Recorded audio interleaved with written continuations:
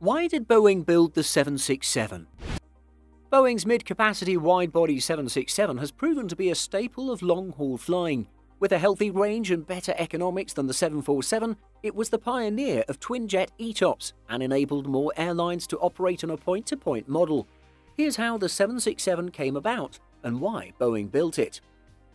Boeing is credited with launching the world's first wide-body aircraft, in 1970, its game-changing 747 entered commercial service and revolutionized the way we all travel. With its massive passenger capacity and the low cost of jet fuel at the time, suddenly flying became affordable for a much larger proportion of society. But not every airline wanted to operate something quite so large. They wanted the twin aisle configuration, but in something more manageable and more suited to replacing the workhorse Boeing 707. Codenamed 7X7, the development of the 767 began just two years after the launch of the 747. Originally, Boeing envisaged a short takeoff and landing, short range jet ideally suited to regional routes. However, airlines were less than enthused by this idea, and as such, the design was redefined to be a mid sized aircraft for longer transcontinental routes. By 1976, the design had evolved into a twin jet wide body, something that Airbus was already pinning down with its A300 series of aircraft. The increased confidence in the reliability of twin jets, coupled with the better efficiency of fewer engines, meant airlines were largely supportive of the concept. Two years later, the model designation of the 767 was revealed, and a major extension of the Everett factory was underway to support the production of the new wide body aircraft. It was officially launched on the 14th of July 1978 with a sizable order of 30 aircraft from United Airlines. American Airlines and Delta soon followed, ordering 50 of the proposed 767-200. Interestingly, Boeing had planned for a shorter version of the Model 2, the 767-100. However, its seating capacity was too close to that of the 757, which was being developed in parallel, and as such, it was never offered for sale. The 767 first entered commercial service in September 1982, with United Airlines the launch customer. The first of the type was deployed on the Chicago to Denver route, setting the path for most of the early models. As more deliveries took place, including to Delta, TWA, and American Airlines, most were deployed on domestic routes within the US. The real game changer came when Boeing took the decision to offer an extended range version of the increasingly popular widebody.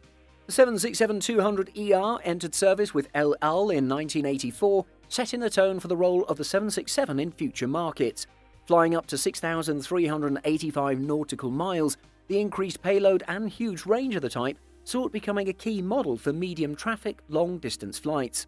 Most importantly, the 767 led the charge for the launch of twin jets across the Atlantic.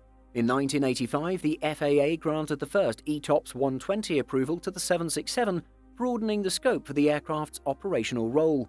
In 1989, the FAA extended this ETOPS to 180 minutes, giving it the ability to operate transoceanic routes and boosting sales measurably. The stretch of the 767, the 767-300 and 300ER came about in 1988 with American Airlines the launch customer. Over time, the 300s came to make up more than two-thirds of all 767s sold, proving popular with airlines all over the world. By the 1990s, the widebody was Boeing's best-selling aircraft and the most common airliner seen on transatlantic flights between the US and Europe. Because of its lower capacity, increased range, and better operating economics, airlines began to serve secondary destinations with direct flights, bypassing major hubs and changing the face of the future of flight. The point to point model, largely inspired by the 767, has increased in popularity over the years and is today seen as a key operating strategy and more popular than hub and spoke. It wasn't until 1993 that Boeing first launched the freighter variant of the 767, the 767-300F. In 2000, it further stretched the fuselage to produce the 767-400ER, a type that entered service with Continental Airlines. Military models were also produced based on the 767-200ER. Over the years, a total of 1,181 767s were built and operated by more than 70 airlines. The largest operators were Delta with 77, FedEx with 60, UPS with 59, and United Airlines with 51. The early 2000s saw the beginning of the end for the 767.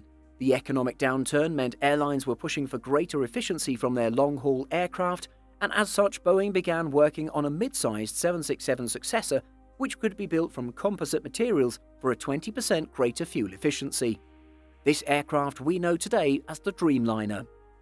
By 2010, there were just three net orders for the 767 and it looked like production would end. However, a saving grace came a year later when FedEx placed an order for 27 of the type, boosting this by 19 more in 2012. In 2015, another UPS order came in for 50, with options for 50 more. However, the market for a passenger variant had completely dried up. Despite speculation that Boeing could restart production of the passenger variant of the 767 to fill the gap of its proposed NMA, the company has been adamant that no more passenger 767s will be produced. On the freighter side, the orders outstanding from UPS and FedEx assure the plane maker of the 767's production through to 2025 at least. With airlines now eyeing the retirement of the type, the passenger version of the 767 is likely to become something of a rarity at airports around the world, However, for the freighter version at least, we'll be seeing plenty of the 767 for many years to come. If you like this video, please like and subscribe to the Simple Flying channel and be sure to click the notification bell.